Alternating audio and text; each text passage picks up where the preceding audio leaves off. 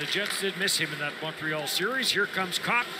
He'll dump it in, and Tanev will go back for it. And Dubois takes a stick up high from Kirkland. And now we get a little bit of action in behind the net. It's almost like these guys played each other 10 times last year. For preseason, we've seen back-to-back games where there's been a lot of extracurricular activity, and this is Dubois going to the net, and Justin Kirkland that comes in behind him and gets tied up with Dubois, who wins the physical battle on that. Dubois takes a stick up high and gives a little shot to let him know what he thought of it, and a mosh pit of 10 bodies after. So the officials will try and sort this one out. The initial penalty was coming to the Calgary Flames on the high stick.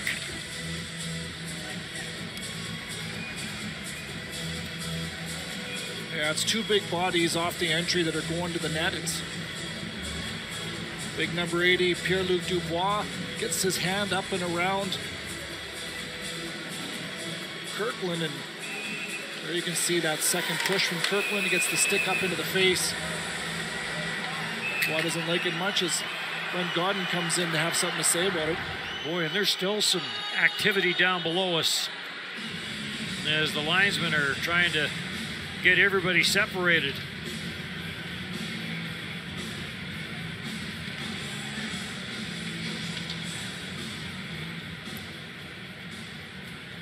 Counter minor, high sticking, number 52. So Kyle Rehman makes the announcement on the call.